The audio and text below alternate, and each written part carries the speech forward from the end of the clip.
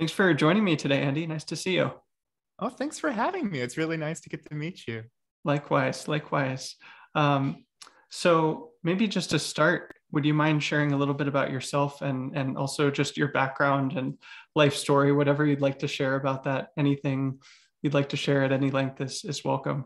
Sure, that's uh, that's super open ended. Uh, yeah. yeah. uh, uh, I'm here in San Francisco. Uh, it's, it's, a beautiful day. I, am a sort of independent researcher. Um, my background is in um, computer science and design and, and learning science, um, kind of in that order. Uh, uh, when I was a kid, I um, I got deeply into computers, um, probably as a, as a consequence of not having um, a lot of uh, peers around that that, that I, I, felt like I could connect to. So I um, I started making uh, you know video games and um, kind of tools for for other creative people when I was a kid, and got more serious about it as a teenager and made a bunch of open source software. Um, I got like really into tools, like helping helping other people make stuff was was um, was really exciting to me. I went off to uh, Caltech where I studied computer science more formally, and um, it, it, kind of it, it transformed a very um, like a very uh, pragmatic worldview into a, I guess a, a, a somewhat more um, uh, uh, theoretical one. So I, I, kind of enjoyed seasoning the, the mixture that way. And um, yeah, for, from there, I, I, I, went off to, to Apple, uh, where, where it seemed like that was a, a group of people making um, interesting tools for, for, a lot of people. At this point, I, I didn't really have um, much clearer thinking in, in the way of kind of telos or anything like that. I, I didn't really have like a strong sense of, of what it was that I wanted to do other than like make stuff that felt good. I had like a really craftsman like mentality about all these things. I wanted to make things that help people. I went to Apple. It was like, it was the early days of the iPhone, kind of uh, iOS 3 had just come out. And so it was like pretty raw. Um, the team was still relatively small, maybe a few dozen people working on the, the software at that point. And um, yeah, we, we built a bunch of stuff, and um, I, I, got increasingly into design, um, uh, and increasingly into the, the, particular branch of of um, design systems that, that are kind of only accessible when you when you combine um, kind of technical stuff, technical skill, technical work, um, and design work in the same person. Um, you, can see this really interesting contrast. There was there was a team there that would you know design the operating system. Um, yeah this observation really launched the rest, rest of my career so i guess i'll tell the story. Uh, they uh, most of the team would be would be printing out what all the different screens look like and, put them up on the wall. And this is like a really useful thing because then you can compare um, you can kind of make sure that there's like a consistent voice and theme. Uh, but all the most interesting work was being done um, by people who couldn't print out their work. Um, because uh, it, it, could it couldn't be it couldn't be flattened. It, it, couldn't it couldn't be held still. It was it was kind of essentially interactive, um, you know, gestures and uh, kind of physics based stuff. I got really excited about um, what what this kind of dynamic computational medium could, could afford. It felt like magic in my hands, and and I kind of simultaneously got um, really dispirited about what we were doing with it. Um, so increasingly, I, I got interested in trying to use this this, this magical dynamic computational medium um, for something that, that felt more meaningful and um, that led me to, to learning sciences. I started doing a lot of reading in that space and in space cognitive psychology and writing sketching prototyping about uh, what one might do in that space with with this this magical material. And uh, yeah the, the, folks at khan academy um, saw this work and, and reached out and um, I ended up going over there and, and starting kind of an uh, R and D lab with uh, with another Apple person, uh, my designer friend May-Li, and um, yeah, we worked on kind of novel learning environments for for kids. Uh, some projects for five year olds, for teenagers, um, some for uh, yeah, like kind of um, high school seniors as, as well. Um, so K twelve, and um, yeah, it was it was it was a, it was a delightful and, and creative time, and um, I, I, became kind of uh, increasingly um, discouraged by uh, the realities of, of K twelve education as an institution, and um, so I, I kind of uh, took a lot of the, the same ideas and, and have become much more excited in the past few years about applying them to, to adults and knowledge workers, um, people doing creative work and, and kind of learning and, and using their minds and, and their creative powers um, in the course of things they're really excited to do. Um, so, so that's that's what my that's what my research focuses on now. Um, and that, kind of brings us to the current day. There's other things I could say, but I'll pause there. yeah, that's wonderful. Thanks for that overview. Sure, um, sure. One thing I'd be curious to sort of zoom in on is you had a chance to work at two companies that I think a lot of people would really love to work at, both Apple and, and Khan Academy. I guess I guess they're te- probably technically a nonprofit, right? But uh, yeah, well, nonprofit organizations are still companies. Yeah, yeah, yeah right. Um, anyway, I'd be curious, like, to hear kind of what your experience was working at each of those companies, and like almost what the sort of culture was like, and um, maybe any sharp contrasts that you noticed or anything like that. Sure. Yeah, I mean, ton, tons of contrasts. Mm-hmm. Both really interesting environments, and, and both changed a great deal while I was there. I um, I, I stayed kind of a while at both places, so, mm-hmm. so both grew a great deal. Um, Apple is, is, is, a massive company. And one thing that, that's kind of interesting about it is that um, uh, because there's these, these very intentional barriers um, in lines of communication, uh, the experience differs enormously depending on like the team that you're, you're working on, what, what, what thing you're working on. Um, and at the, the start of the time I was there working on the iPhone was, you know, kind of understandably um, a very exciting and dynamic place uh, to be. Um, one thing I, I, really liked about it that, that I think is kind of undervalued in, in tech is that, um, you know, I was working with a lot of people in, in their 50s and, and even early 60s. Um, that's really unusual. Um, you may, you'll maybe find that at Google, um, but you know, for, for the most part, tech is kind of like a young person's game, and, and there's even some skepticism of, of working with older people. Uh, but gosh, they were really very good. They had decades of experience and it showed.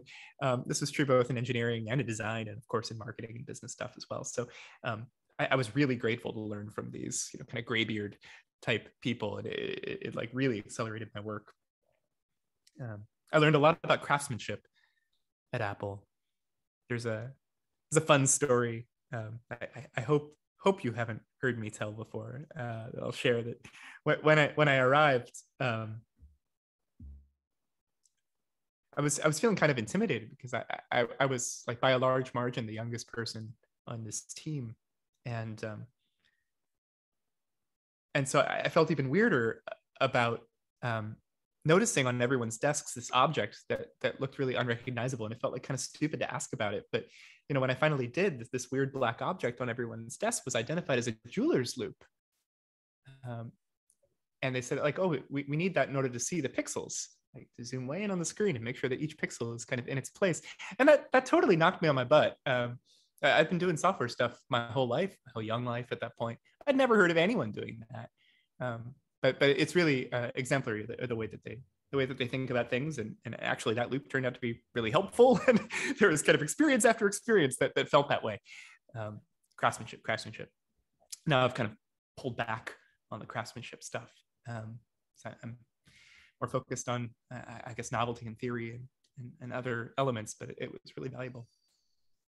I could tell stories about Apple all day, but I'll, I'll pause there. Khan Academy is a nonprofit, uh, and that, that, creates a lot of interesting dynamics. Um, for-profit corporations are, are often influenced by um, by by business strategy. That's a totally empty statement.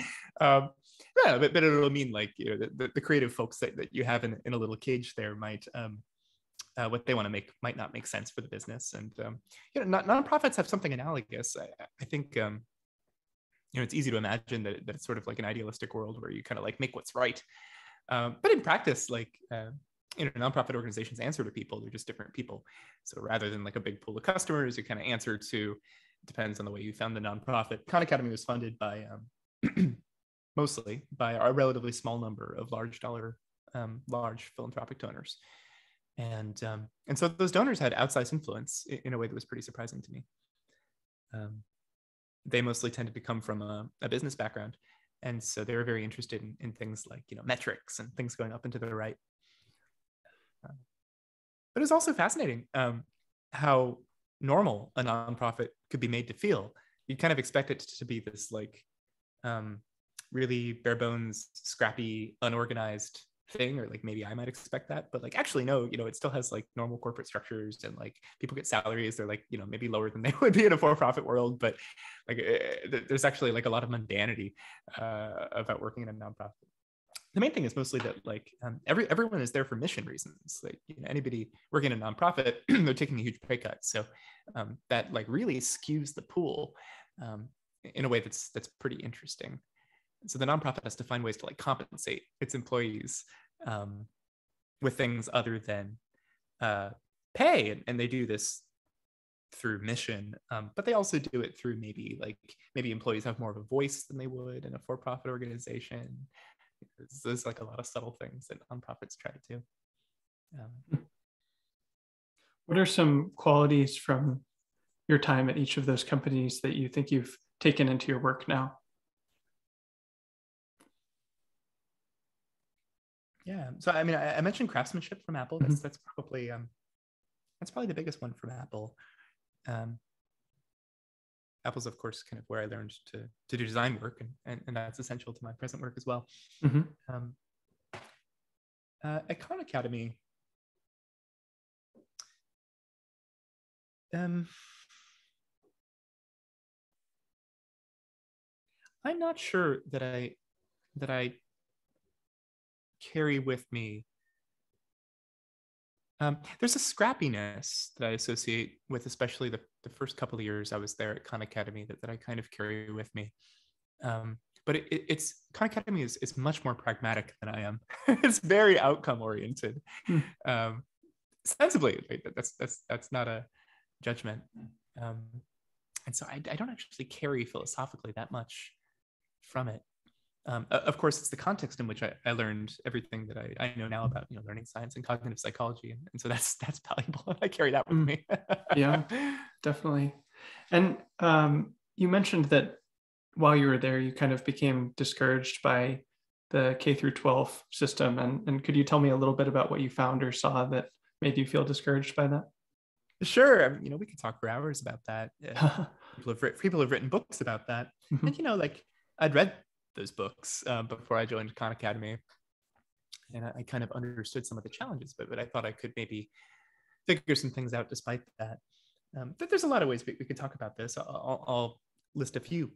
Um, one challenge, it's very concrete, is that uh, it's very difficult to get clear signal on, on one's research ideas. So my, my team was developing these kind of new ways to learn that, that were ideally um, a lot more intellectually and creatively engaging for students, um, hopefully more personally rewarding.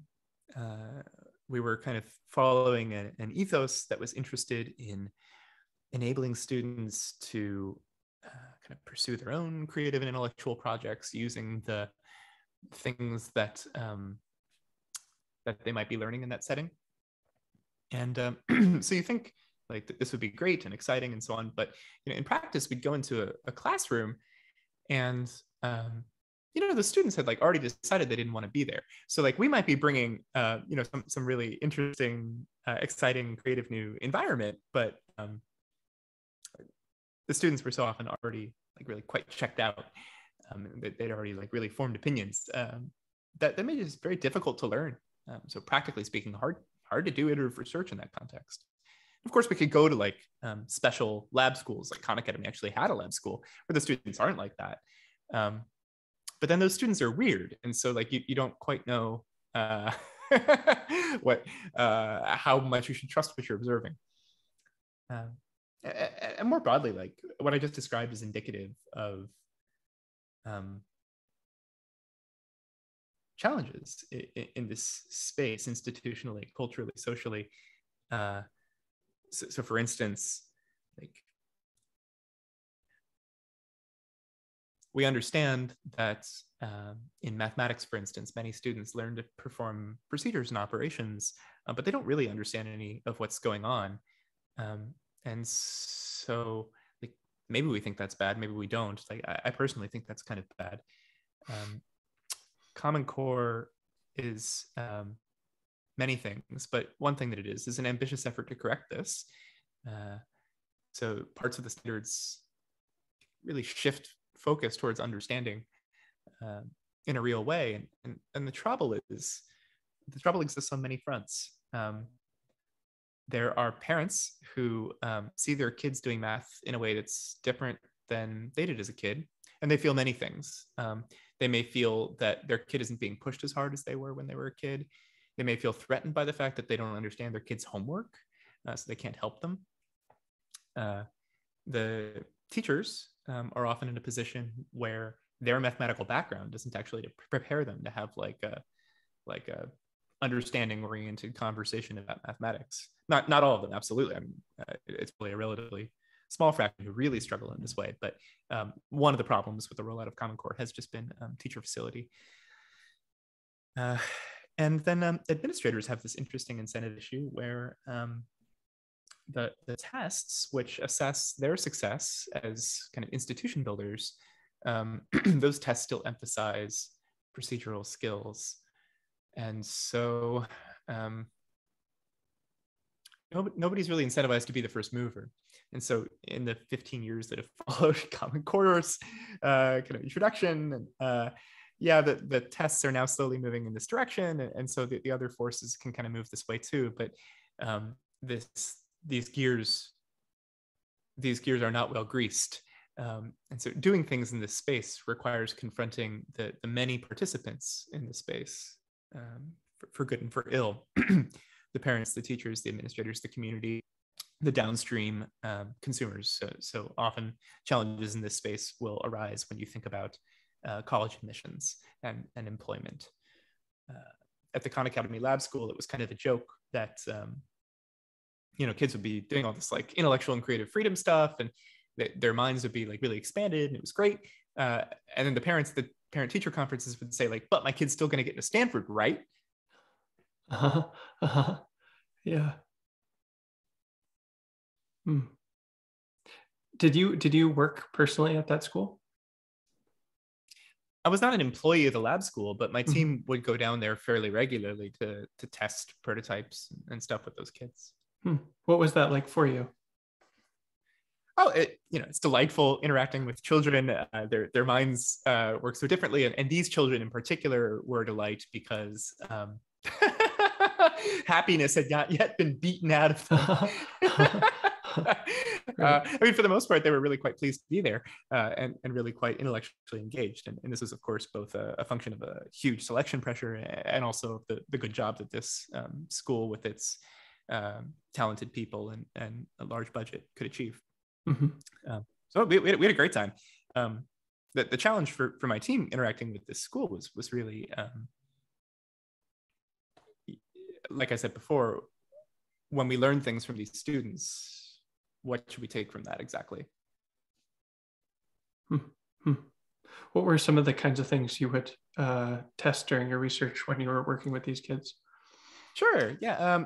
Um, So, uh, one example of a thing we worked on was uh, a system for, for kind of open-ended problems in, in online learning systems. So, um, a system like Khan Academy and you know Coursera and Udacity, these systems for the most part, their their form of practice that they offer is um, kind of multiple choice can give you feedback on really readily. Um, that applies both to the, the feedback mechanism and also kind of to the nature of the question. Because you, you have to be kind of doing an activity, doing a problem where um, there's kind of like one right way to do it, uh, if that makes sense. Um, hmm. That's that's the kind of problem which um, which is amenable to this kind of machine feedback, machine grading. And, and this this is not completely universal. For, for instance, in like computer programming classes, you'll sometimes uh, find systems where like the system will grade what your program does, but you can do it any number of ways. So like there's kind of tricks you can you can do to make problems more open-ended. But very generally speaking, in online learning, um, problems are, are kind of quite uh, quite closed. And um, this you know maybe maybe works if what you want to teach people is like how to multiply two two-digit numbers together. Um, but it, it doesn't work so well if you want, well, just very broadly for the liberal arts, it, it works quite poorly. Um, it also works quite poorly for, for many kinds of mathematical reasoning. But a, a question that we, we used a lot, just as a, as a fun example, is like, what, what was the most important cause of World War One? Um, and like, what's fun about this question is that it's um, it's what instructional designers call an essential question. What that means is um, it that's a question that is alive for professionals in this discipline today. Uh, there isn't an answer. You know, you can spend your whole life answering this question. there's lots of questions like this, and these are often the, the most fruitful ones to to dig into. Once you have enough kind of core knowledge to, to do that, you know, I, I don't want to pretend that you could, you know, spend your entire um, life only thinking about these questions. But anyway, my, my, my team uh, worked on a, a, kind of online learning system that worked for this kind of activity um, rather than for you know kind of multiple choicey stuff. And um, yeah we'd go down there with those kids and you know get their ideas about uh, historical cause and effect. And uh, uh, you know the, the system we'd made had them kind of engage with each other as as a form of, of peer learning and and, and feedback. Um, not like grade each other but um, riff on each other. And um, yeah, it's really really fun to watch that energy, and of course, we we learned a lot um, that that helped us improve this environment as well. Hmm. It's really interesting to hear about, and uh, yeah, I just think there's a lot of um, I don't know, like your research is available online and people can go read about, but I think there's there's so much value in just like hearing you describe it, kind of. Oh, thanks. Uh, yeah, like the tone that you use and the memories, and yes, yeah, it's, it's really interesting to hear about. So thank you for sharing. Um, can you tell me kind of um, about you know your more recent career as kind of an independent researcher and, and you know there's been a number of projects that you worked on yourself and then i think michael nielsen is also a collaborator of yours that you've worked with pretty closely it seems. Can yeah, you tell me yeah. kind of about the arc of your own independent research and the different projects you've worked on over the years? Sure yeah so it's, it's been a couple of years now. Um, mm-hmm. 2019 uh, early 2019 that i, I went uh, indie uh, so uh, yeah i mean um, the the the broad arc of of this research is is we, we can kind of summarize it as, as one big project. And that's been a, a project to try to uh, augment human memory and attention um, which sounds really abstract. So so I, I often begin describing this by by asking um, like what comes after the book? And, and why are all the answers to this question that people give so boring like our answers so far seem to be things like pictures of pages of books and like videos of people like giving lectures. And I think the you know, we, we, we could leave beside leave, leave aside the, the efficacy of these answers. They, they just seem really boring. Like where are all the powerful ideas from from psychology and sociology, game design, and all kinds of other interesting things? So I, I, I like bringing some of that energy into these places. And uh, Michael and I uh, were both very interested in um, in, in a particular phenomenon that makes it very cheap for people to remember things um, if they do a particular practice. And, and we wondered whether we could help a lot more people do that by creating kind of a new medium that, that, that integrates this practice. Um, and, so and that's spaced repetition specifically that you're just alluding to. Yeah. Yeah. Yeah, exactly. Um, uh, I, I, guess I should qualify that. So, so let me summarize really quickly. Spaced repetition is is, is kind of like a an automation of um, a thing that you would naturally experience uh, in the course of remembering something well. Like if you reflect, you'll, you'll often find that when you remember things well, it's because um, they've been reinforced several times after you learned it, um, and uh, um, you kind of need reinforcement less frequently uh, uh, the more times you're reinforced. And so there's kind of a way of systematizing that. But one of the other kind of unusual beliefs that Michael and I had about this was that um, this technique has been applied almost exclusively to what we might call rote learning. So things like uh, uh, language learning, where you need to learn a lot of vocabulary. That's like 90% of the use of this. And um, and then like the rest would be things like um, anatomy, like you know, label this part of the human body, very popular for medical students. You know, pharmacology, like what are the effects of this this drug? Um, so really like rote stuff um, feels very flashcardy. But we had this belief um, that we'd experience in our own lives that actually you can use the same techniques to learn quite abstract conceptual topics really deeply. And so we wanted to test that um, on uh, quite an abstract conceptual topic, quantum computation. Uh, we made like this quantum computing textbook um, called Quantum Country that that uh, that integrates these these these ideas from spaced repetition, makes it really easy for for people to um, to try this stuff out without needing a, a whole bunch of a whole bunch of skills about uh, how to how to how to write these prompts effectively, which which turns out to be hard to do. Um, and so uh, part of my research that the past couple of years has been uh, uh, treating uh, readers of Quantum Country as guinea pigs in, in, a, in, a, large experiment. You know, different readers are, are getting different versions of Quantum Country. Oh wow! Uh, and and by doing that, I, I can um, I, I, can uh, see things about the way that they remember and learn the material, um, and and hopefully uh, glean things about how people in general remember and learn material. And there's, there's generalization problems here, you know, the kind of people who read quantum computing books, and, and also to what extent does quantum computing learning you know, generalize to other stuff? These are good questions.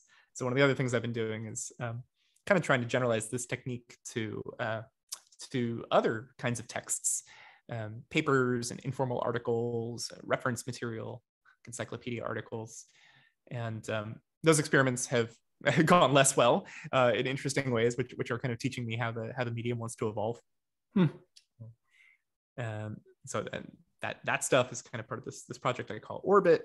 Um, but um, it, it's really it's all under this this umbrella of kind of helping people helping people internalize what what they read. Mm-hmm. Mm-hmm. And uh, am I right in understanding that Orbit is intended to be kind of a generalized infrastructure for the kind of thing you did with Quantum Country? Yeah, yeah, that's that's a, a, good way to understand it. Um, I, I, have, and this is a little harder to articulate. Um, uh, there are other things that I want to do with it, um, mm. and and that I do do with it personally, um, but which I haven't quite figured out how to adapt into media form. I guess I'll speak about this briefly. Um, so space repetition is is this way that you can um, kind of come back to something you learned over and over again and reinforce your memory. And that's useful when you want to remember stuff you want to internalize it.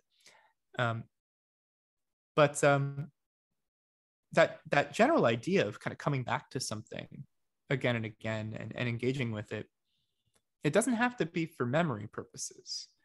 Um, that's actually why i called it orbit. Uh, this idea that you can you can bring stuff into your orbit you can kind of uh, take something you find beautiful or compelling or curiosity provoking um, and kind of tie a lasso to it and and bring it into your orbit I, I find really beautiful and just a few examples of how I do this personally. Um, you know, if someone says something in conversation to me that really stops me in my tracks and makes me reconsider, it's interesting to um, re-expose myself to that observation. You know, maybe a month later, or a couple of months after that, and ask myself like, "Ooh, how does how does this sit with me now? Like, have I have I actually internalized this thing? Like, are, are there you know new instances that it applies to um, or if i i have a really um, beautiful experience or I, I, see some really beautiful uh, art that someone has made uh, to bring that back into my life and allow myself to you know, reconsider it and see what new thing i notice uh, uh over time kind of it, it, extends my relationship with the thing temporally and it um it changes my emotional relationship with it as, well Hmm. Hmm.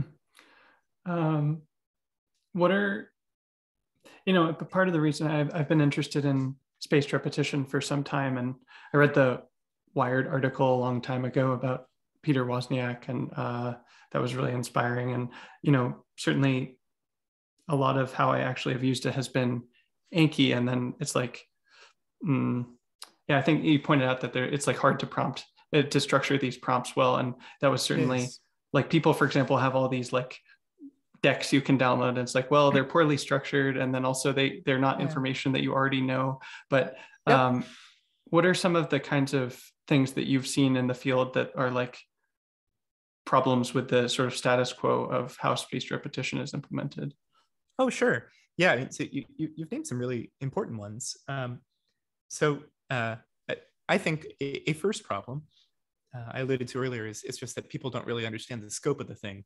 Mm. Um, so I think it's mostly I think it's mostly misused. It's used for you know like learning capitals of countries and kind of boring things that that people don't like really deeply care about. They feel like they should know it or like maybe it's fun to you know, learn this trivia. Um, so I think that's a shame.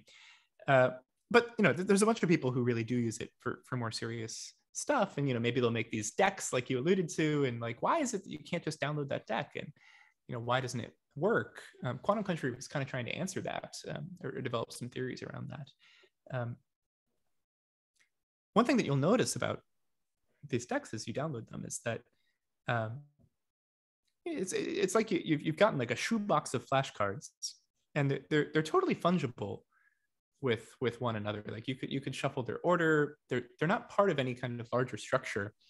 Um, and in fact, Anki is going to shuffle them as it as it shows them to you. And so um, everything that you need, or it has to be the case in this regime that, that everything you need in order to engage with these cards and, and really internalize them kind of exists on each individual card and it can be shuffled however they like and, and, and have to still work.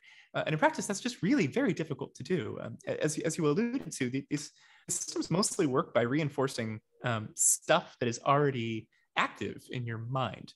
Um, they, they work by um, um, consolidating uh, the, the, the memory encodings that you already have, and possibly by by adding some additional um, connections. And uh, and so if, if you don't already have this stuff active in some kind of structured fashion, these things have less to reinforce. They tend to um, both not work all that well, but but also not be emotionally engaging because uh, it kind of just feels like you're you're like reviewing stuff that you don't really deeply understand. And so what we've experienced with Quantum Country and, and this new medium so far that's been kind of interesting is uh, we're, we're kind of playing with this theory that if, if you introduce a bunch of ideas in a narrative, um, that narrative as a structure, it has an arc, it has a linearity, it has an order. Um, and so you can kind of pause intermittently and, and ask these prompts, which are potentially unordered, uh, but which are associated with this stuff that you just read and that you have fresh in your mind. Uh, and now these prompts, um, they don't really work on their own. Like if you just downloaded Quantum Country's prompts, even though they're expert written, um, th- it, that wouldn't be enough. They wouldn't work, I think. Um, we should run that test actually, uh, but, but, I don't think they'd work. Uh, I think they work because they are um, they they are an anchor to, or they're, they're like um, they're a pointer to the the passage, the prose passage that they that they follow. Hmm. Um, there's like a lot of other uh, problems with with spaced repetition memory systems. Um, like, oh gosh, there's so many. Uh, here's another fun one. Um, this is a design problem I've spent a while thinking about. Um, feeling a sense of progress in these systems is really hard. One key reason for that is that if these systems are working, you're going to spend almost all of your time reviewing prompts that you're bad at and that you can't remember mm-hmm. because that, that that's like the definition of them performing efficiently um, and so when i interview people and ask them to characterize like how they think they're doing memory wise their answers like i can see their data. Like i know how their memory is doing and their answers are totally uncorrelated with it. Mm, wow. like they think they're doing terribly and like they're, they're not learning anything. It's like maybe it's working maybe i'm learning a little bit. Um, but that's because they're spending all their time doing the stuff that um, that they have trouble remembering. So we have to create like new representations of progress or, or otherwise deal with um, d- deal with this problem hmm.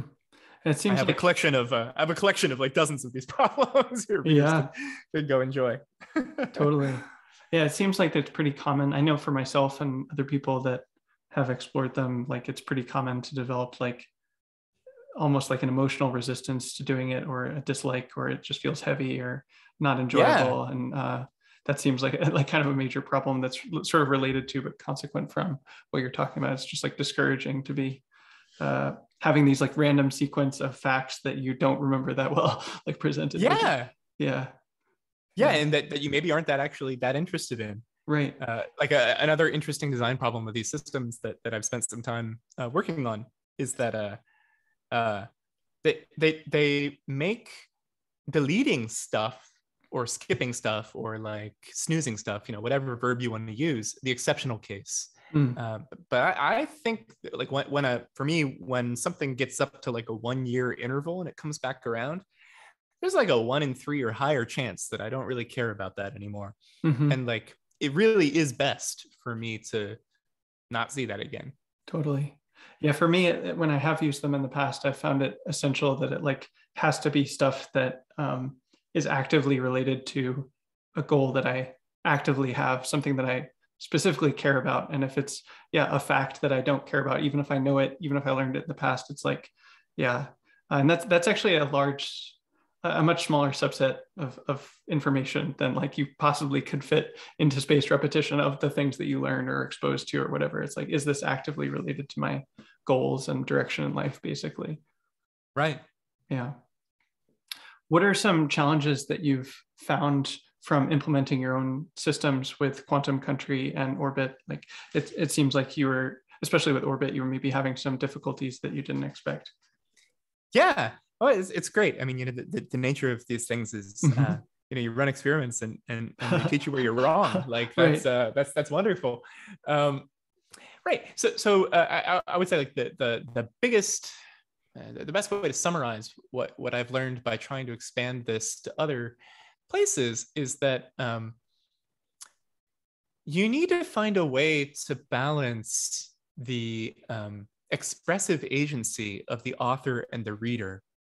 And Quantum Country had this easy because it's a primer. And so what that means is that we can assume that if you're reading this, you don't really know anything about this stuff. And you also don't really have strong opinions about what you like the subtopics you do and don't want to learn because you're clueless. Um, so you kind of want someone to spoon feed you. And um, you're not reading tactically. That is like, you probably don't have like an active creative project going on that um, you like want to learn the stuff that specifically reinforces that because like you don't know enough about the field to have an active creative project about it. So all these things um, make it so that for quantum country, um, re- like reader agency is fairly low. Like the, the reader's kind of on, on along for the ride uh, and and the author who's a deep expert um, is going to like suggest what you should learn and how you should learn it and how you should practice and so on. And that doesn't sit well with people uh, when they're reading you know like a um, an essay uh, or like a, like a general a general uh, audience essay or um, if you're reading a wikipedia article you know um, 10 different people reading that article are going to want to know 10 different things from it.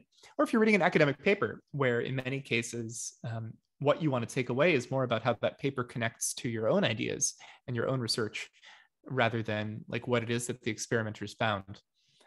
Um, so the, the, the synthesis from all of this is that the, the medium needs to um, make it easy to take advantage of the work that the author's done to interleave um, these these memory supports, but it needs to um, be quite responsive to axes of readers' level of level of prior experience, um, the specific subset of the of the piece that they they are interested in, and the depth to which they want to internalize this piece.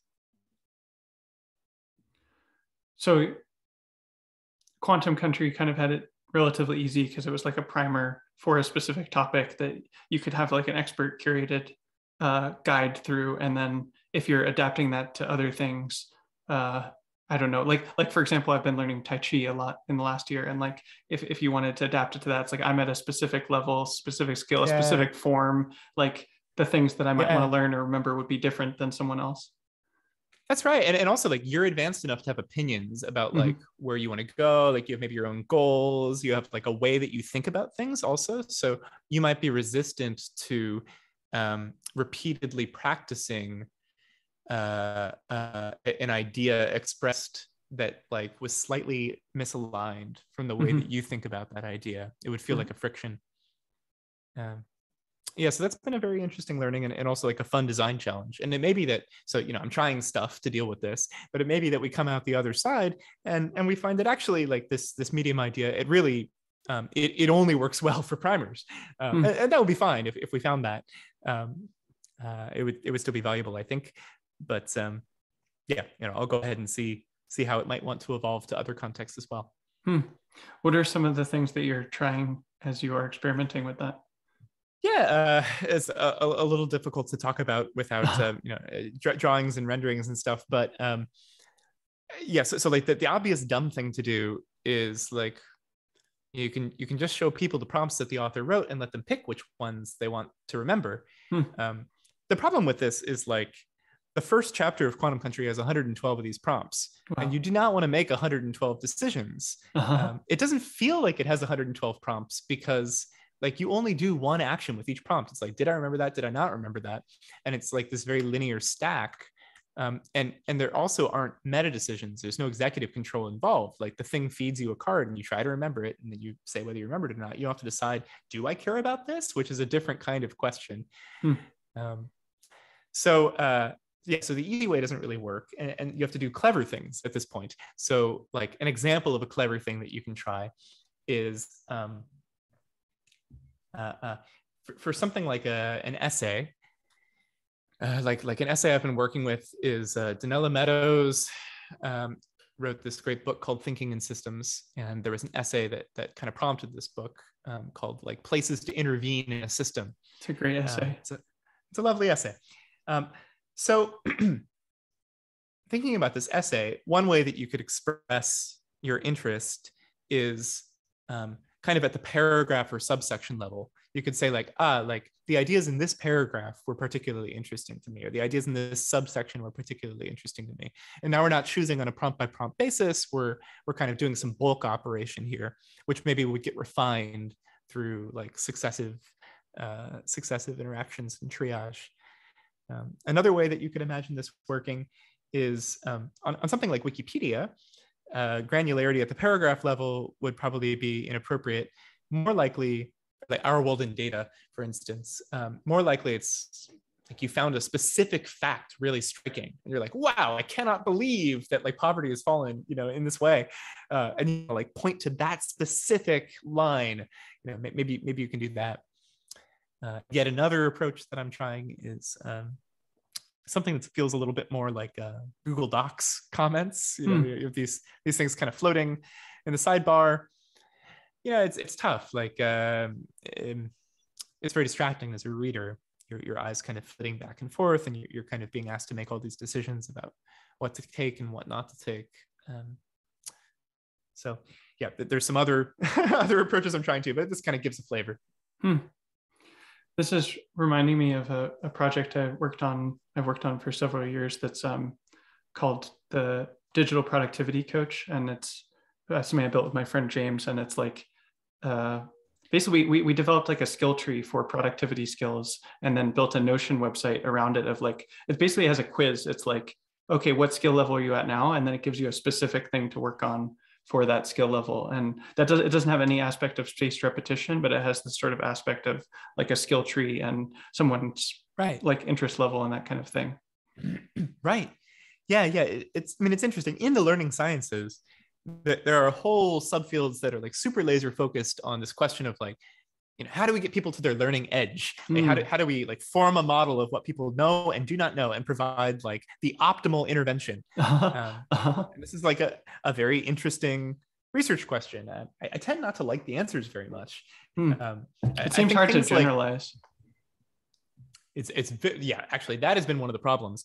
Uh, one of the things that's been very frustrating for the members of that field um, like actually there's several such fields but one of the ones uh, that, that I'm, I'm thinking of now is called intelligent tutoring systems is that um, there are examples of intelligent tutoring systems that are extremely successful um, but all of the efforts to uh, you know, kind of assembly line this. So like, why don't we just like cover all of K-12? But these systems have really failed. Like it, it costs a couple of PhDs usually uh, to, to build one of these things that works okay. okay Um, and uh, you know, it's like, okay, you, you burn through a few dissertations and you, you get like a decent instance of like this particular subtopic of this particular grade.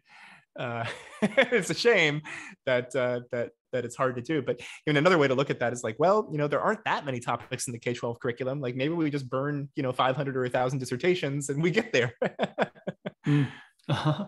yeah yeah interesting um you know the, the other part of your work that you're that you're well known for is, is sort of your work with your note taking system and you know what's become what you- I guess you called evergreen notes. Can can you tell me about how you started developing that system for publishing your notes and and tell me more about that? Sure. Um, as to how it started, uh, you know, this memory system stuff and th- this idea of staying in contact with ideas over time, like these are just instances of kind of an umbrella that I'm very interested in, which is like computer supported thinking.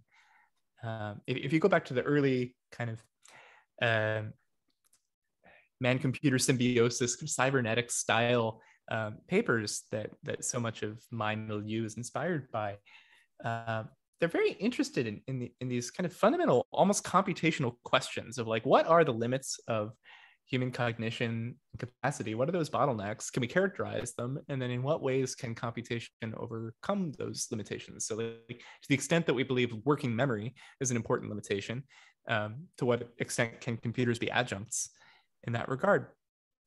And uh, um, i've been very interested in in the research around like what is creativity actually? And like where do ideas come from? And so so my my my, practice is is sort of um, is a way of poking at some of those ideas and, and trying trying them on for size. Um, it's it's not a um, I, I, would say it's, it's sort of it's sort of like a, a, secondary research project insofar as I'm not not like running any experiments on this or or like really I think forming any durable generalizable knowledge, but I'm trying to trying to get the flavor of something one way I articulate the something is how do I make how do I make work on ill-defined problems accrete day over day? Like when, I, when I'm working on quantum country, that even that's too specific. When I'm working on like helping people internalize what they read more easily, um, I, ideally I have some like new thoughts about that every day, or like I make some progress of some kind. Um, and how exactly does that accumulate into like a broader theory or a framework or um, big ideas you know whatever you might want? I've noticed that um, most knowledge workers have this this um, their work tends not to accrete very well. Uh, they'll, they'll spend most of their days um, insofar as they're writing they're writing like in emails or in um, maybe the context of like the, a, specific project proposal document that they're commenting on or, or something like this these are all kind of um, point samples in time and they will only accumulate insofar as the experience of you know writing a comment on that project brief changes the way that you think about the topic so that when you come back to it next time you know you, you, you do a different thing. Um, and, and i'm sure like that happens. People people do think differently uh, as they do this stuff over time, but but it, it doesn't feel great. Uh, it doesn't it doesn't feel like it's working all that well. So uh, anyway, I've been thinking about these things for a while. I, I read about commonplace books and Zettelkastens and TiddlyWikis and personal wikis and um, all of that stuff was kind of roiling around in my head and as I as I kind of ran various experiments uh, in this space like evergreen notes are are it's kind of only one kind of thing that I do uh, in order to try to achieve what I'm gesturing at. Hmm. It seems like there are a few things that were really significant about that project from just from an outside view of of like well one that that the notes were public two i think people were really admiring the design skill and the craftsmanship as you say behind like mm. the the like sliding panes and that's been adopted elsewhere in other uis and um but it seems uh, like another really core part of it was something like uh, the notes seem to be structured around like thesis statements basically of like yeah like like a almost like a paragraph level thesis statement like here's a thought that i have and then they're interconnected at that level so rather than being like uh, associated around a specific topic or a specific person. It's more seems to be more focused around a thesis. Is um, is that true? And and and how would you describe the thinking behind that? Yeah, that's been. uh, I, I don't feel that I've made that many contributions in this space relative to the prior art, um, mm-hmm. but that's one one that that has served me really quite well, um, and that I feel was kind of missing.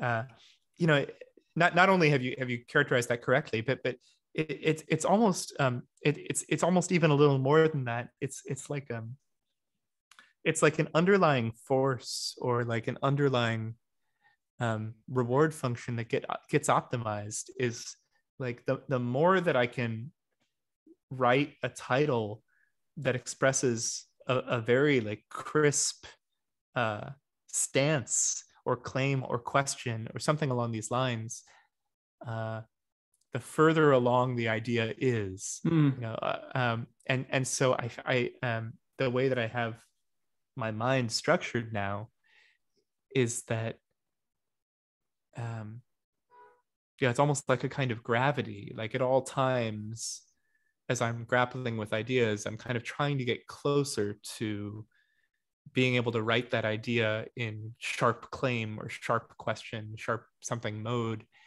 um, because that that feels like progress. Um, and when I have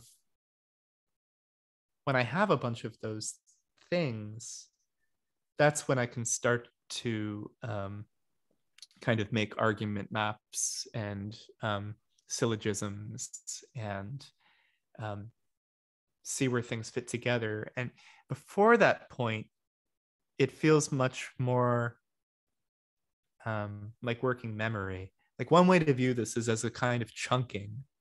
Um, I, I don't know if that term is familiar Mm-hmm. psychology. Yeah. Um, once I'm able to really distill a particular direction of thought down to like a single phrase, Mhm. um, now I can think in terms of that phrase.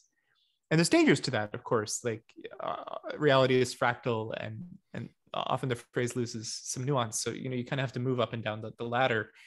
Um, but being able to move up a level of abstraction is, is often a very powerful move, and it lets you see things that you couldn't see when you were more in the details. Mhm. It's funny that the design thing has been so influential. I don't actually think it's all that well in, uh, implemented, uh, all that well executed. I did it in a weekend. Yeah. I, it kind of it kind of makes me. Uh, uh, uh, uh, uh, I, I I feel like I want to come back and do a real job at some point. Mhm. I imagine people would love it if you did, but um, I know. I, I I imagine um, I sort of have. Are you familiar with Wardley mapping at all? yeah, yeah.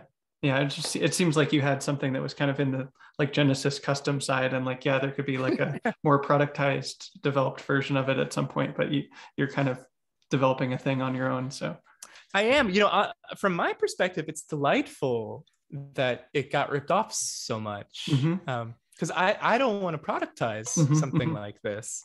That's This not your great. I focus. get- no, no. I mean, uh, th- there, and there are all kinds of questions that need to be answered if you do want to productize something like this. There's problems to be solved, Mhm. and I don't I don't care about those problems. So this is great. We we can have division of responsibility. yeah, yeah, totally, totally. Uh, I I imagine that. Um, well, yeah, just coming back to the point about theses. Um,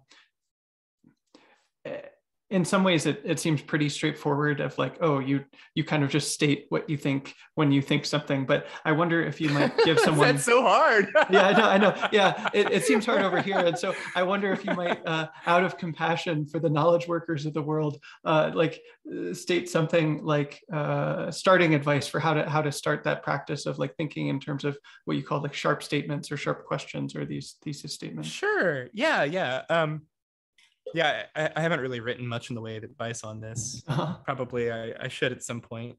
Um, the, the way that I work is um, I usually start by writing in um, ephemeral or transient contexts. And that might be like a daily note, like a journal, or um, it might be in a note about a particular um, reading or an event, a conversation, something And, like that. and so it's fair to say like you have probably a number of notes that are exclusively private and then some of them are migrated into your public instance. yeah the, the majority of them are, are private probably um and uh yeah so, so generally things start transient that's kind of scratch Mhm. and and my stance towards those notes like i noted about this conversation for instance is like most likely i'm never going to look at this note again so the, the reason to write in it is um, to kind of tickle my own thinking and see like is there something from this that i can that i can take uh, Mhm. or maybe I can I can like mm, put enough landmarks on this um, non-map that if if I kind of come back to this later um, because I noticed a connection, then I'll be able to reconstruct it. Uh, so anyway, it usually starts that way, and I, I'm kind of often writing in circles about what I think.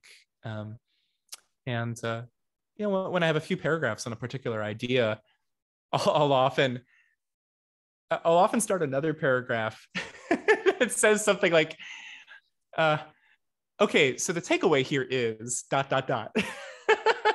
or like, okay, so what I really think here is uh, something like that. And and that that's kind of my heads up that um, uh, I'm trying to do a kind of compression. Hmm. Um, and often I can't do it at that point. Like often it just kind of it stays there. They're probably three quarters plus of the time. Like, yeah, I mean, I I, I could abstract this insight, but it, it feels like overfitting. Um, so I'm just gonna leave it. Uh, you know, and the rest of the time I'll say like, yeah, and in fact, actually, that connects to this other conversation I had, uh, you know, into this book I read and whatever. And then I'll be kind of browsing around and pulling things from various places, and I'll use them to uh, to, to kind of make something that might outlive this moment. Uh, and um, that, that's that's when it's exciting. But but even then, I mean, usually the title is bad, and so uh, this process of like refining the title, it's it's it's a really interesting synecdoche for for the whole process of thinking. Like as my thinking gets clearer, that the title gets better, and as I understand a space better, um, like I and I tend to get these noun phrases like you know mnemonic medium. Uh, like mnemonic medium as a noun phrase follows a whole bunch of earlier, much smaller things like specific claims like downloaded decks of spaced repetition cards don't work. Like that's a specific thing. And even that isn't very specific. Like a better version of that is um, you know, don't work because they're atomized and, and like disconnected from, you know, particular thing, right? So we could go into more detail. But when I collect enough of these mm, more specific claims, now I can kind of like bubble them up under some umbrella that that refers to a whole bunch of things. And this kind of progressive abstraction um, is a really powerful drive in thinking in general. And so the titles uh, are, are, almost just like a um, uh, a very narrow reflection of like what's happening under the surface. Hmm. Hmm. Hmm. Yeah, it reminds me of uh, in high school they really wanted us to learn like the five paragraph essay system, and yeah, like yeah. Uh, I, it took me a long time to figure out that uh, you know, you were supposed to start with like the thesis at the beginning. And it was like, I would get to the first paragraph, be like, okay, well, what's my thesis? And just have a bad thesis. And it's like, oh, by the time I finished the essay, the first draft of it, like that's when I knew what the thesis was. And that took yeah, me forever yeah. to figure out. But it seems like that's kind of what you're doing with your own notes is like just typing what you think. And then at the end, you're like, okay, so what's my takeaway, as you say, thesis yes. here? And the order is not the order of presentation, basically. Oh yeah, yeah. And usually I'm rewriting um, the, the, the scratch notes don't don't usually make it into anything real. right, right, right. Fascinating, fascinating. Um, yeah, I wonder. Um, also, just kind of coming back to the the larger research projects around memory of, um, you know, you, you talked a little bit about this, but just that something I'm very curious about is like collaboration. It seems like you've worked pretty closely with Michael, and I wonder if you've like learned anything about collaboration from working with him, or um, any of the other collaborations that you've done. Like, kind of how you think about collaboration and what makes a good collaboration for you. Sure. Yeah, I've, I've been lucky to have some some really outstanding collaborations. Uh, gosh, it's it's it's just it's it's one of the most rewarding things in life. Um, Definitely. I think the most important thing I've learned, and this is is proven true for me again and again, is to um, uh, uh, uh,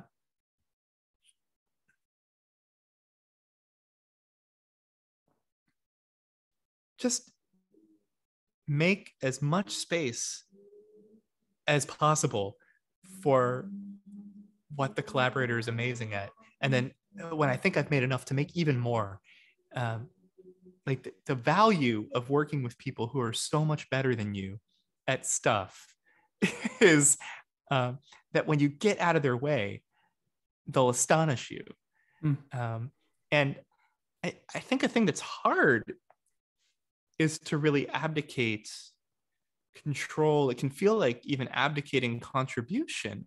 You know if you're in a collaboration it can feel like you know you want to kind of you want to contribute to everything like you want to you want to be a part of everything. And it's it's nice to be along for the ride with everything because like you'll you'll learn a lot and and sometimes you you can contribute to even to stuff that you aren't great at. But um, i have really loved taking my hands off the reins like with the writing process with michael for instance. Like you know he's he's written several books. Uh, he's a much much better writer than i am. And um, uh, it's it's tempting. And I, I, remember like reviewing the very first chapter of Quantum Country, like I had all these notes about you know like comma placement in sentences, right? Um, that's silly. it's very silly, um, and everything got so much better when um, yeah when we engaged at the level of ideas instead. And I just let him be an incredible writer. Um, yeah, there's, there's so much so much to learn from from deep expertise um, another thing that, that I've learned is that it's very rare that, that, these people can actually tell you all that much about what they're doing. Um, this, is, this is the problem of tacit knowledge. It's also the problem of the curse of expertise. Um, so much of it is intuition and instinct, uh, and so much of what can be gained is by watching their, their instincts play and occasionally asking like what made you do that? You know when they mm. do something that really surprises you it's like how did you know to do that? Mm. or they change direction. It's like what what made you change direction there? Like you saw something. Uh, you can learn a lot from that. But um, a common thing is to ask like oh you know do, do you have any favorite books that really helped you learn you know this or that skill? And we'll be kind of like ah i don't know. Uh-huh. yeah usually they can recommend things but it's like it's, it's just not um, yeah, apprenticeship and legitimate peripheral participation are are the best ways to, to learn things. I, I really do believe that. Mm-hmm. Mm-hmm. Fascinating. Yeah. What what is the sort of um, you, you, talked at first about like kind of getting out of people's way and like uh, what is that like for you like what would the tendency to be for you like to get in someone's way and how do you yourself not get in their way i think for me the force which is most active in getting in people's way is a fear that if I don't participate very actively and proactively, uh, that my collaborator will think I am lazy or disengaged. And so I'm, I'm in a sense trying to signal my engagement signal um, like how much I value the the effort by trying to contribute to something, um, but it's counterproductive. Hmm. So uh, you, you have you have to establish a kind of relationship where, um, you know, someone can go off for a week and do like some really hard intellectual work, um, and it has to, it has to like feel okay that you're not helping. Hmm. uh, because I, mean the temptation when someone is struggling, you know, like I'll ask Michael, like, how's it going today? He's like, uh, yeah. it's like writing is hard, right? Uh, so the temptation is to say like, oh, like maybe, you know, maybe I can help. We, we can outline together. Or I can, you know, I can work on the next section or whatever. Um, yeah, it, it's a nice impulse. Um, but I, I, for, for me, it's, it's often unhelpful. Another aspect of your work that I'm really curious about is uh, that you're funded through your Patreon at this point, which mm. I think is really exciting. I, part of the reason I'm interested is I also have a Patreon and uh, have been like working on basically making that my my main source of income. And, oh, great, cool. Uh, yeah, I think it's a, like I, I, love people being funded that way, and it feels like a really good model for myself. And I'd just be curious to hear about your experience with that and what that's been like for you, and uh, anything sure. you'd like to share about that.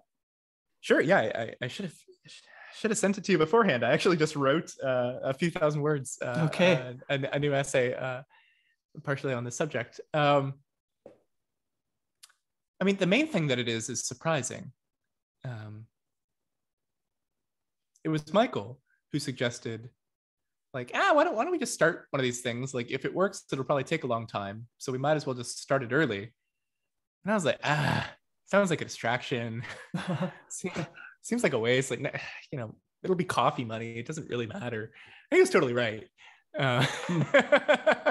um, he was right in both senses that um, my experience has just been like slow, steady growth for the most part, and it just Mhm. like took a long time, took a couple years to accumulate uh, patrons, and um, and therefore he was also right uh, in the sense that that it, it could eventually be um, quite a lot of support. And, and he, he was indexing on a few people that we know who, who do actually support themselves in this way. So we had some prior examples, um, and it's nice to become an example myself. Mhm. Um, some lessons. Uh, so I have sort of an unusual Patreon. Um, usually Patreon is, is a little bit of a tit for tat kind of thing where like sign up and you get stuff. So to some extent, like you're, you're paying for secret content or like an extra podcast or whatever. That's kind of the nature of the relationship. Um, you know, I, like I, I write essays for patrons. Um, most of those end up being public later. So the, the the nature of the arrangement is is more. It's more like NPR, like you know, fund this because you want more of it. Mhm. Um, and and the more that I lean into that, the, the better I think that things work. Like in a similar sense to the collaboration, I often feel like a kind of obligation to like you know perform for my patrons or to like do stuff for them, offer stuff to them. Um, and I think that's mostly misguided. Hmm. Uh, I think I, I do my best work when I forget that they exist. Hmm. Uh, I notice sometimes that I will catch myself thinking, like, ah, I want to be able to write about this topic for my patrons. And so I should run this experiment and analyze it so that in a few months I'll be able to write this. And like, that's terrible, Hmm. really. Um, I, I, I don't want that driving my work at all. Um, I would much rather think about that relationship as just kind of um, byproducts and, and, and kind of offshoots from from whatever primary work I'm doing. You know, so this month I spent a bunch of time doing deep analysis of like quantum country reader data, and so um, I had to write a ton in order to to um, do that work, uh, uh, trying to make sense of it. And fine, like I, I can I can summarize um, some of that writing in, into an essay for patrons, and that's something they might find interesting. But I'm not like writing it for them. But that's really important. In this most recent essay that I published, um, I, shared something that uh, is is like less promising um, that you might find interesting. So I, I've seen very steady growth um, for the past couple of years until kind of mid 2021, and then it leveled off. And this is fine. Like I, I I'm okay. Uh, I can pay my bills. Um, so I'm not complaining here, but um, I think it's interesting because I think it says something about the dynamics of Patreon. So if I dig in further, specifically what I can see is that my churn rate, the rate at which people cancel, that rate is constant. Hmm. So that rate is about 2% per month, like always. Um, the thing that changed was the, the incoming rate. And I can correlate that in turn um, as just a simple function of the just number of new visitors to the Patreon like webpage. Hmm. Um, like so the conversion rate hasn't really changed, right? So what this is saying is that well, if you want constant growth uh, of your of your patron like Patreon number or whatever, then then you need constant growth of the like visitors into the top of the funnel. Um, and and the reason specifically why it makes sense that that mine had plateaued in 2021 is that um, 2021 for me was like running a lot of experiments which were instructive um, but I, di- I didn't publish any like big summative glitzy stuff. So like it makes sense that i wouldn't have a big glut of new visitors to my work. Like the major work that people would see is all like 2020 and earlier um, and you'd expect that to have some kind of like tail you know kind of tail off in, in the number of visitors it would generate. Um, and so like the consequence of this for a patreon funded person is that like you you do need to continually generate um, eyeball getting work in order to grow and even maybe to sustain your numbers. And um, that isn't great. Mhm. one one one summary of this that i find pretty interesting is that i have about 650 patrons right now. Um, and if I wanted to maintain my current funding levels for a decade with my current really pretty gentle churn levels, um, 1,650 people would need to come and go in the next 10 years. Wow. Okay. Huh. It's interesting that um, I don't know. I think my quantitative analysis analysis skills aren't aren't uh, quite up to the task. So it's interesting to kind of hear the findings that you've found from your own Patreon, and like that that just makes a lot of sense of like the churn and and the eyeballs and and so on, and and how that influences the dynamics of what you work on and, and that kind of thing, and uh, definitely variables to consider on my end as well. So appreciate you. How does it that. influence you? Hmm. Well, uh, you know, I'm sort of coming out of, uh, you know, I, I, I trained in a monastery for a while and uh, left last year, and um, so now I'm, I call myself like a quasi monk. Not really a monk by any traditional standard, but I've been very influenced by that, and um, so I want to be living a life that's based on generosity, and so Patreon feels really appropriate for that. Of like, I'm not charging for different things. I'm just, if people want to support me, they can. And so I try to make the things that I put out there as freely available as possible. Um, you know, this podcast, blog posts that I do, the guided meditations that I do, uh, all of those things are kind of out there. And I also like to put like a Creative Commons license on them where possible. And so it's like, hey, world, you have this. This is a gift from me to you. And if you would like to yeah. give me a gift, you can. And so I, I yeah. like to just like basically not think about it when possible and uh, just like let people know hey this is a thing if you want to support me great if not no problem this is freely available anyway um, like with loving kindness for example that which is a big focus of mine like i just want people to practice loving kindness and if they want to support me great but the practice is the most yeah. important thing. Yeah. Yeah. That actually brings us i know um, we've talked about this before, but it seems like it's sort of a shared interest is uh, like you've been developing an interest around meditation and kind of like the inner inner aspects of some of the dimensions of your work and i'd be curious to sort of move into talking about that and anything you'd like to kind of compare notes about there oh sure i, I think you, you could teach me a great deal mm. uh, um, i i've meditated fairly seriously for about seven years mm-hmm. um, and it, it's it's been tremendously tremendously transformative for me along many axes. Um, moving through, I, I, guess, several disciplines has has been quite instructive. So I think, um, kind of non-dual uh, meditation has has helped me um, with kind of egoic attachments uh, in very uh, useful, uh, meaningful ways. Um, uh, uh, samatha meditation has has helped me build the kind of continuous attention that I need to um, do the work that I do. So it, it's uh, practically very useful. It's it's also just really joyful. It, mm-hmm. it, it, helps me, um, you know, find find the joy in in in every momentary experiences. And then, of course, loving kindness meditation um, is is is a wonderful source of of joy and pleasure mm-hmm. and happiness and uh, well-being as, as well. So it, this has been a, a, really wonderful thing for me. I do have a specific uh, question for you along these lines. It's a very mm. naive question. Um, I would love your, your take on, and gosh, what, what, what an awful way to phrase it. I'm going to go ahead and phrase it in, in this way that I know is bad because I, I think I think it'll be fun. Like I, I could I could work to I could work to launder this, oh, but free. I think I think it'll be better this way. Um, what do you think is the marginal value of extended retreats for somebody who already has uh, a consistent and apparently effective daily home practice. Hmm. Um, what does marginal value mean? Yeah, I mean, so like that that's the part that wants to be laundered, right? So um, let me make it much more specific. So like let's let's talk specifically about metta, for instance.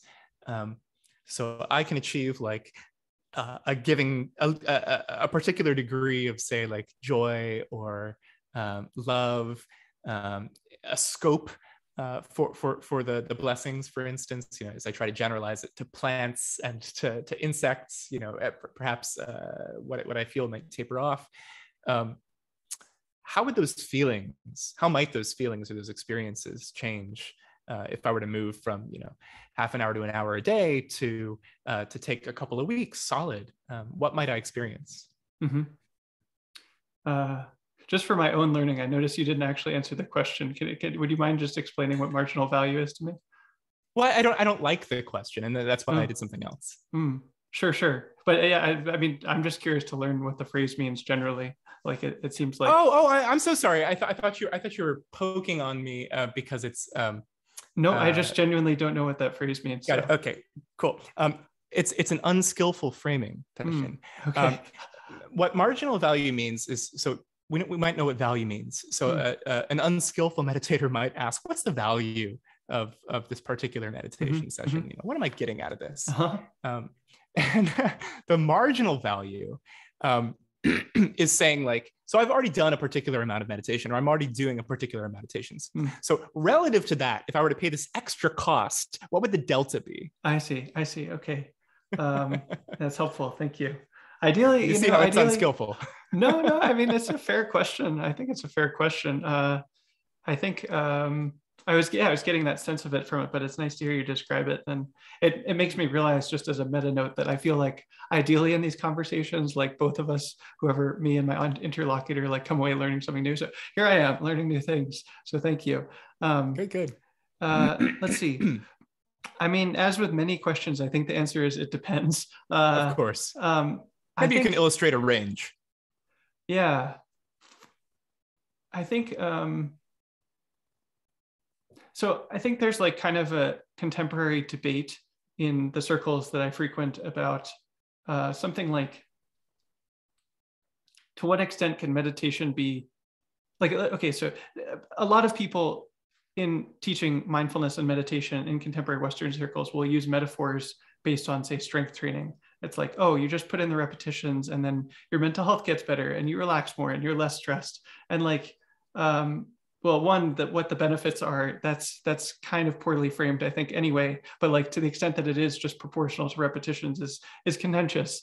Um, there's, I think there's a reason that people compare it to that because uh, to some extent it is like, yeah, if you put in more hours, you're probably going to get more benefit. On the other hand, some things are more, and this is sort of the claim by some folks, um, particularly thinking of meditation stuff here, Mark.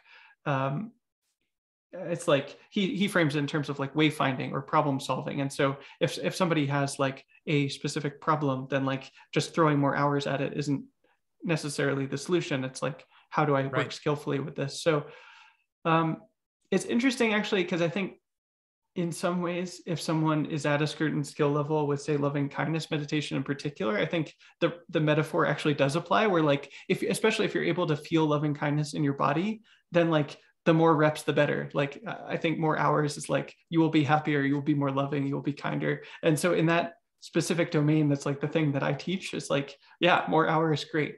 Um, but that's that's a subset of meditation and also um, it's, it's so contextual. It depends on the person and the methodology and technique. I think um, the way I would frame it maybe is, um, and this is sort of how Shinzen frames it, is like um, a retreat time is a time to go deeper. And so you can explore a new technique or like, you know, learn something new or try something new encounter new obstacles and, and and move through them and then off of retreat it's kind of more of like a maintain cycle where it's like okay i got this far right. i have these skills i'm going to keep maintaining them and using these skills but i may or may not actually have the chance to go deeper into it so um, mm. i think that that fits with like a more problem solving type approach of like hey you might have problems come up on retreat and then you learn how to uh, adjust and adapt to them so I don't know. It depends on as well on like what somebody's goals are and what they're seeking. I mean, uh, people come into meditation for so many different reasons, and uh, what their motivations are is probably going to uh, make it depend how useful a retreat would be. I think in general, like it's good to go on retreat if you're meditating. If you if you have the chance and you find meditation a valuable part part of your life, like it's it's um, no, it's like a gift. It's a privilege to be able to go and practice and deepen your practice. And um, right. not everyone has that chance. So I, th- I think generally it's like sufficiently valuable to do if if it's available to you, but it depends. Yeah. Cool. I appreciate that. I mean, I take retreats pretty regularly mm-hmm. for my work, and it's it's very valuable. I, I find so you know I, I work uh, at home independently, uh, and I have to create all my own structure, and so uh, it's it, it can be very easy to you know pay way too much attention to the trees or only see the forest. Uh, mm. you know, it's very it's very very easy to to to find oneself down the wrong path. Um, and so I, I, have to like take myself out of my my own context um, at least once a quarter, and often more often hmm. uh, than that. Um, but I haven't yet. Uh, usually, when I'm doing that, I'm just going somewhere else and mm. uh, you know getting away from other people's voices and reading and writing but i'm not i'm not practicing meditation i'm still like, thinking about my work stuff um, so it would be interesting to uh to to do mm. uh, to do that instead mm. and there's an interesting question of um also you know in in which discipline or uh, what exactly would I would I want to pursue when when on this retreat? I, am not quite sure. Mm-hmm. If you were to do a meditation retreat, like which style or yes. place or teacher, yeah, I I'm uh, I haven't quite figured out how to state this, but I'm like increasingly bullish on something of like resonance or um, interest of if you feel drawn to a particular style or teacher like um, i mean it's easy to put a kind of like woo frame on it and it's like oh i feel like some connection to this teacher and it's like oh i feel really interested and drawn to them. But yeah i don't know. I think even outside of that it's um if something's like actively interesting to you and you're like yeah this seems good that's a good sign. And uh that that's what i would follow more than more than anything mm-hmm. else of like oh what is the best optimal thing? You know one thing that's been interesting about my meditation experience and i think is is maybe unusual is mm. I, i've listened to uh, teachings and recordings of many many teachers now and i don't i don't actually feel that kind of like attachment and connection and drive to like kind of any of them like i'm grateful uh-huh. for all of them like, uh-huh. it all seems good thank you everybody uh, but, but, there's nobody who's like wow like i'm gonna go study with this person mm-hmm. i wonder uh, i wonder why that is i don't know hmm.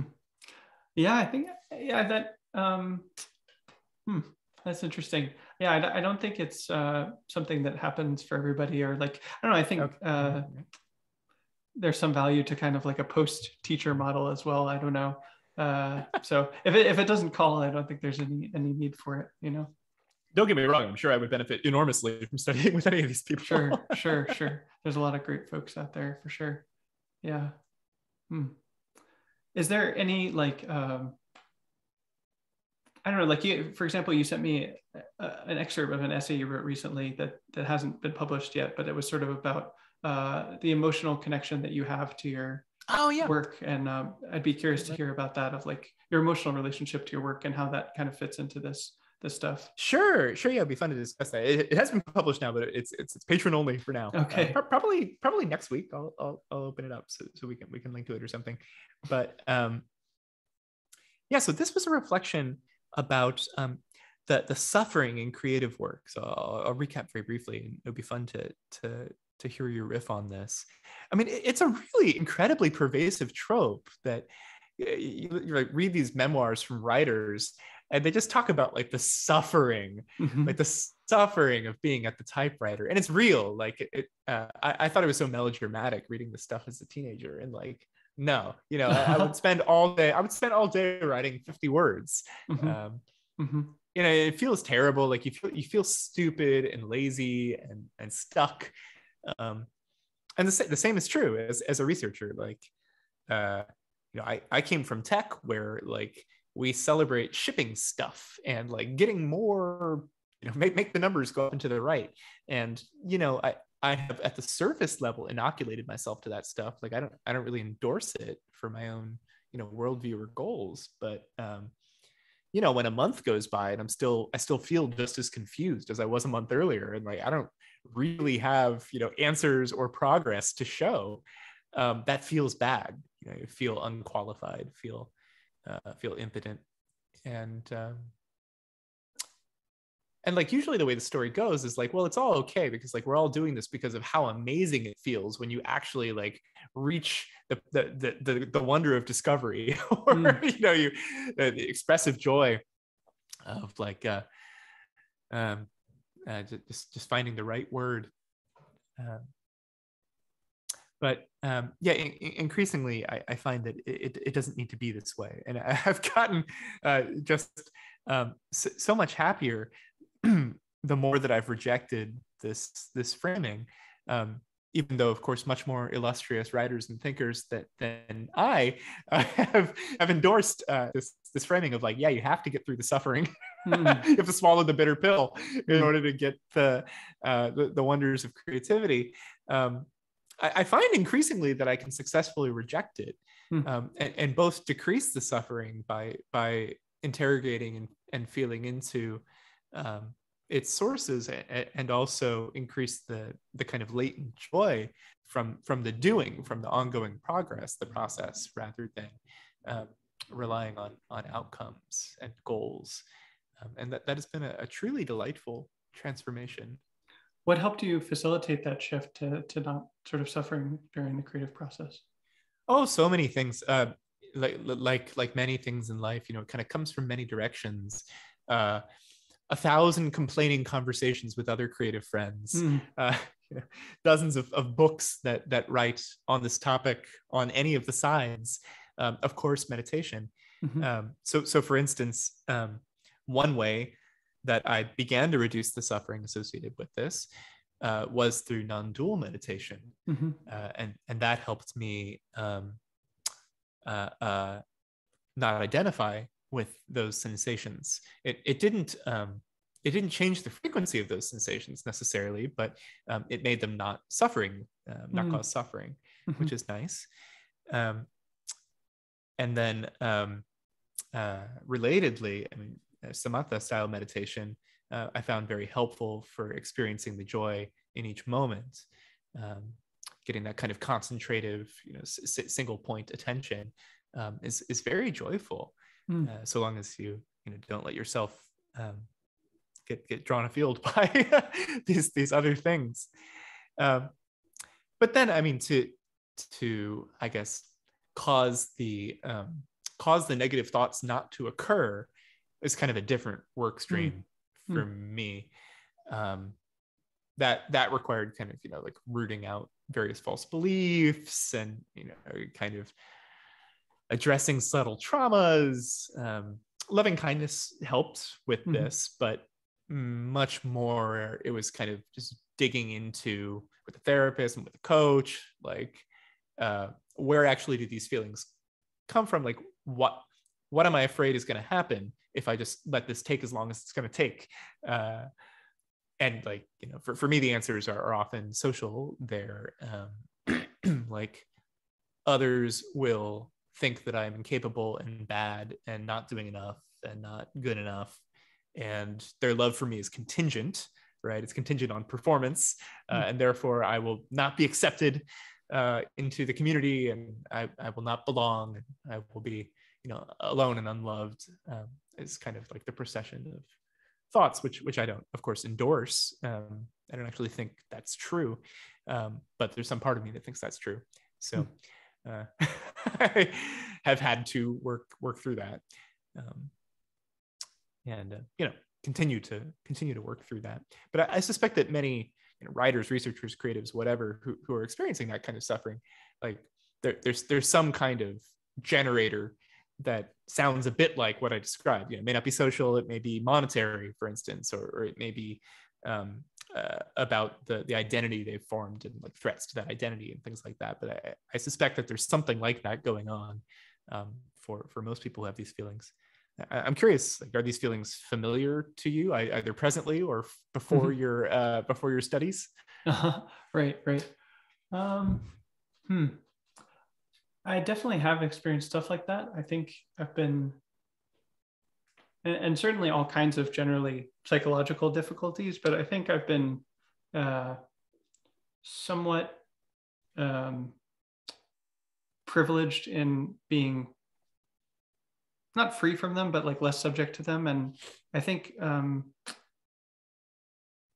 yeah, it's interesting because I, I, feel like, um, well, at least to me, it seems like there's there's a few components here of like one, a lot of the people that I see struggling with this kind of thing um, it seems to me, I don't know, it's like a judgment about someone else's life, but it seems to me that there are a lot of people doing work that they don't believe in or um, don't enjoy or don't resonate with or Yeah. um, even worse that they think is unethical or it is unethical Yes. but they don't notice that or Yes. repress it uh, Yes. that's a big problem um, a second one yeah like i think um, there are various all kinds of psychological blockages that can come up that are difficult. And you know i think in this respect i've been well so yeah i've been privileged in the first respect of like i haven't worked a job that i've hated or something in years you know? Uh, Right, I've, right. I've been aligned with the work that i do um, for for years. So that's been a privilege. And then from a second one it's like i have a lot of tools internally at this point to kind of work with psychological difficulties.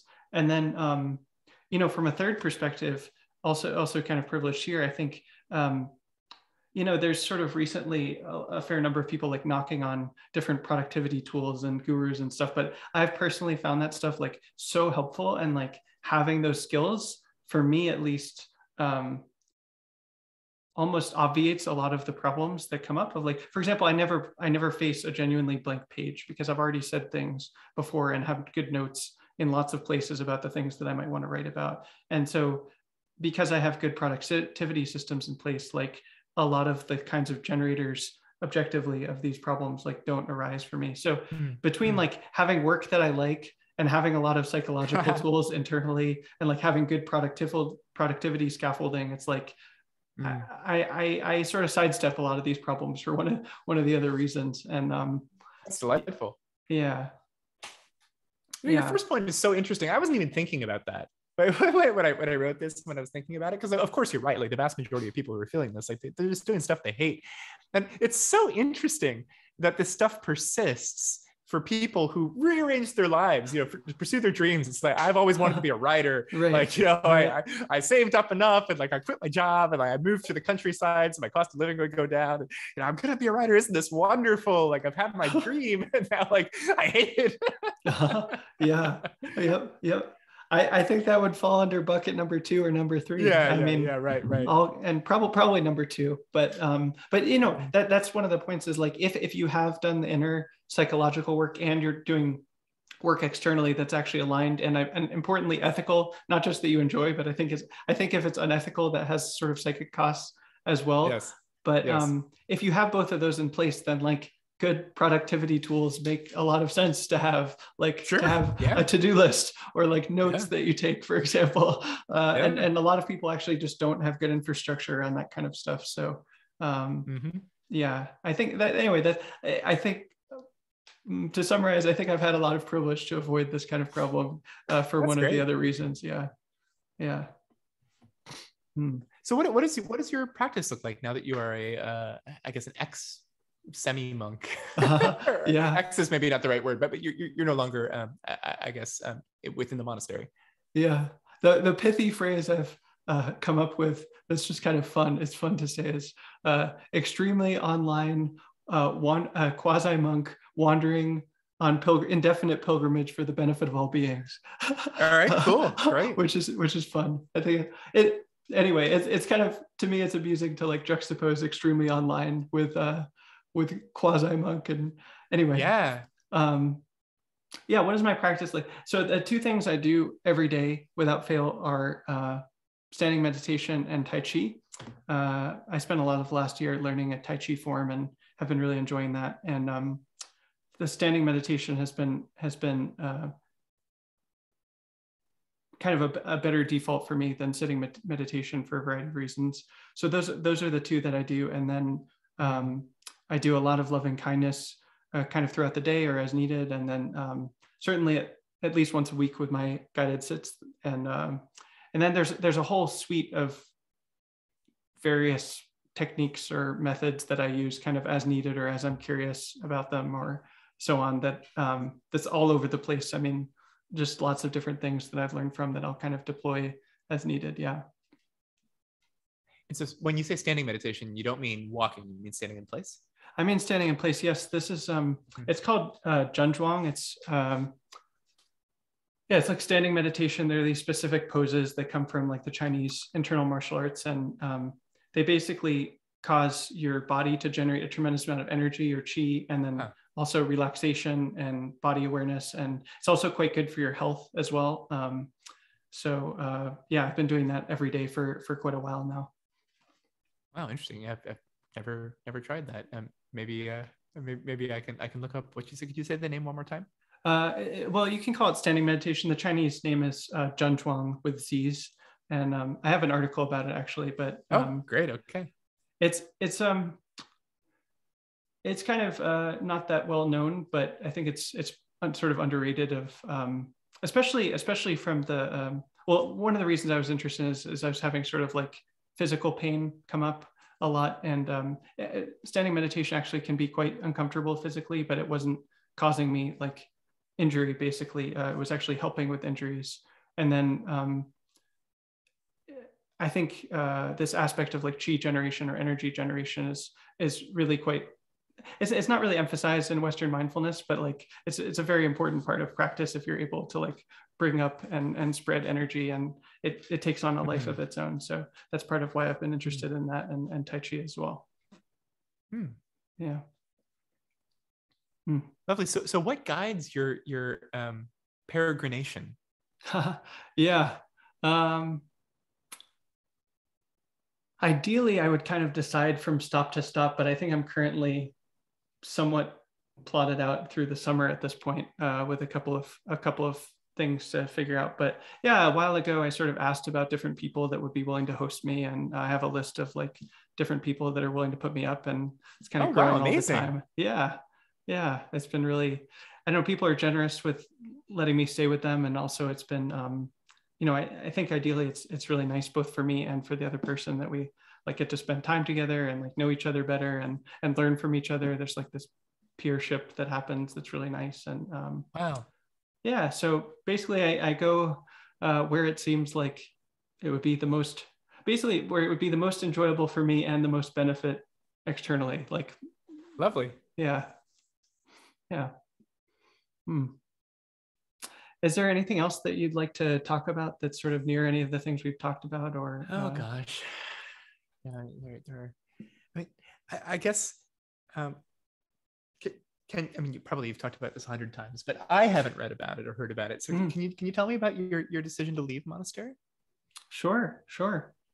Um, you know, we were talking earlier about about retreat time, and I think one way to uh, view uh, monastic training is as kind of an extended retreat. And so, you know, usually retreats for lay people are like a week or 10 days or something like that maybe two weeks or a month if you're lucky or two months even but it's, it's sort of this short time bound thing and actually from from the perspective of uh, of like very deep practice like a week is like both an incredible gift and an incredible opportunity and a very short amount of time to go deeper into practice right. so right. um, which is all the more reason to be appreciative of it and and take every chance you get i think but um, but it is a very short period of time and, and, and a monastic training period of say a year or several years or a decade or whatever is is um, time where you know you can really go pretty deep into into training over lots of retreats and, and just practicing day in and day out and so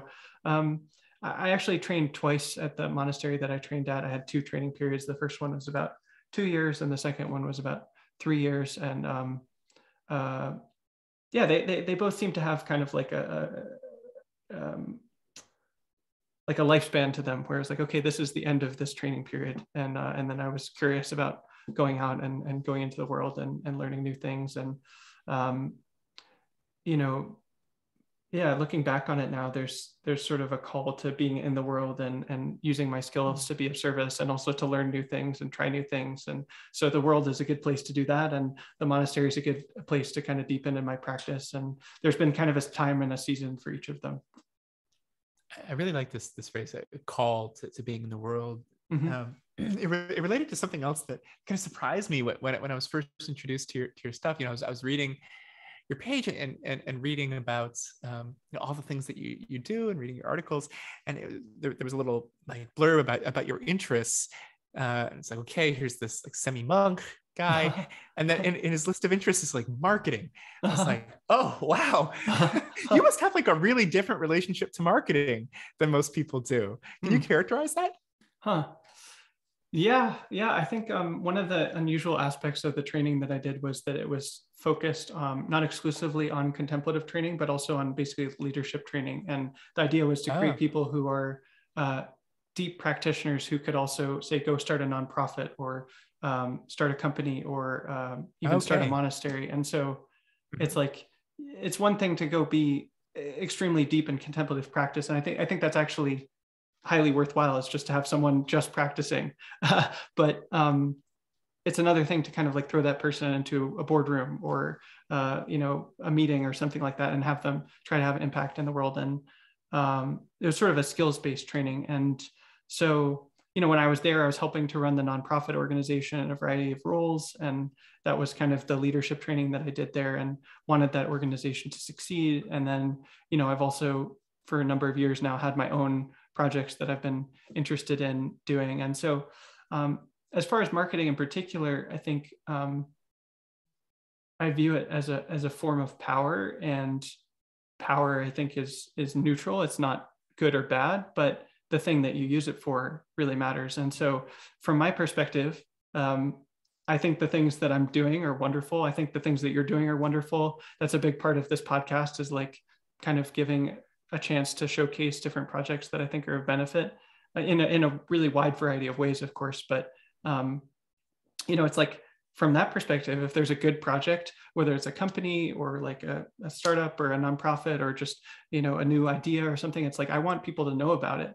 And I want it to benefit the people that it can benefit. And so marketing, um, as I conceive of it, is basically like a suite of tools to help the people who can and should know about something that would benefit them know about it. So uh, it's right. like compassionate to tell people about something that would benefit them that they're that they're interested in and it's relevant to their life and so on. And that that precludes a lot of um, sort of traditional marketing tactics you might say. Um, I, I you know it's very important to me to hold like a stance of ethics around a lot of this stuff. There's a lot of tactics that i've seen that i think are basically unethical. Um, but sure you know, I know my ethics and I'm not worried about violating my own ethics. So within those constraints, it's like, yeah, there's nothing wrong with telling people about what I'm doing and, and kind of trying to reach as wide an audience as possible that that was that's actually relevant and beneficial. Um, I, both for my projects and, and other people's that I think are, are good and of benefit. That's really lovely. I, I, I love the this notion that, it, that it's actually a kind of compassion. It, it really rings true. And in fact, it, it connects to a, a piece of a classic problem in collective intelligence. Like if mm. you hmm. imagine that, you know, you want to take all the world's people with all of their, their incredible capacity and, and ideally it would be great if everyone could could at every moment be kind of working on the thing that would you know make them happiest and, and maybe have the most impact and so there are a lot of these dreams of uh, you know systems where you know maybe somebody who's working on like a drug discovery thing can say like oh like i need an expert on like monkeys of this particular kind because like we think this pathway might be something we can investigate. And that person who's an expert on monkeys of this particular kind like they wake up and and and you know something in in, in the world whether it's a computing thing or, or an interpersonal thing like tells them like we have great news today. Like you have an opportunity to have like way more impact than, than, you normally could doing something you're really excited about. Like let's connect you to this project. Mm. and then tomorrow will be different. It'll be something else. Mm. um, and, and, so this this kind of like dream world of like get, getting people's attention and intelligence and creativity kind of applied uh, where where they would most want it it really requires a kind of marketing. Mm. wow. Interesting. So so the general problem is how to like distribute skills and resources from people in like a good way if there's sort of a, a broad network of people that are working on things. And then you're saying that yeah that within a, a, dynamic ever-changing system. I see i see. Yeah that makes sense. That makes sense. Yeah i mean um i mean presumably within like a, a a system like a company or a, a, a, nonprofit or something like people are sort of have alignment around the mission. And like yeah we already think for example that k through 12 education is like worth working on. So it's like oh we'd be happy to have you your help over here kind of thing. But um because that, that does seem to be a big it's like both um like getting alignment around the like why and the mission of something and then also like yeah just information of like hey there's this project that's happening over here. Yeah. Right. I mean, a naive kind of thing is like, well, when I was working at Apple, my awareness of, or like the salience of a whole bunch of other projects that I could be doing that hmm. actually I probably would have enjoyed way more and would have been more impactful. It's like very low. Like I just I didn't know that these things were options. Mm. And it's not so much that like, you know, in this case, a specific organization needed to market to me. Mm-hmm. You know, mm-hmm. like Khan Academy needed to market to me and convince me to to to go join them. But like another way to look at this is like causes needed to market to me. Mm. And so you look at like, you know, effective altruists, like they have a very active regime mm. of, of kind of like you know, marketing this cause, like, hey, you tech person, finance person, you know, instead of doing that thing, like you could do this thing. Um, and, so, so, so this is this very general problem of, of creating this awareness of, of the space of possibility in an agency. Totally. I, I am so curious about how that works at like really huge companies, especially like Apple, like how they divide labor and like organize things. And uh, yeah, that's something I'm very curious about. Apple is mostly command and control. Okay, Apple's pretty yeah. simple. right. right. Right. But then I mean companies like Google are pretty interesting because they're they're they're much more bottom up and the engineers have just like a lot of say in what they do and don't hmm. want to do, at least as I understand it. Um, there's a lot of things they can't do, but um, yeah, it, it's a it's a kind of it's a kind of corralled anarchy um, hmm. that's nevertheless very productive, and like that's beautiful. Interesting mm. way too mm. fascinating fascinating. Well I, I would love to talk to you more about this stuff but I, am aware of the time and i know you have to go oh, yes, shortly. right so uh, want to honor your time and yeah thank you so much for talking to me today and really enjoyed the conversation and uh, I just appreciate it so much. Oh likewise. Thank you for a lovely chat. Mm.